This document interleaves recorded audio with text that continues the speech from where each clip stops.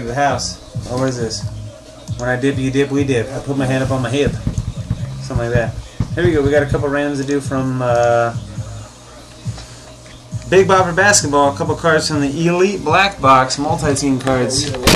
From Maruski. Four o'clock fan, fam. Here we go. We got Ed Davis, Raptors, and Paul George Pacers. Dual autograph. Raptors Pacers. And we got this triple patch.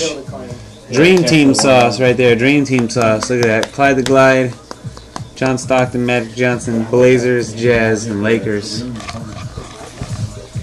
Good luck. First one, Raptors Pacers. Three times team on top wins. Good luck. One, two, three. The Pacers. Congratulations to the Pacers. You're the winners. Second one, we got the triple patch. Dream Team. Blazers, Jazz, and Lakes show.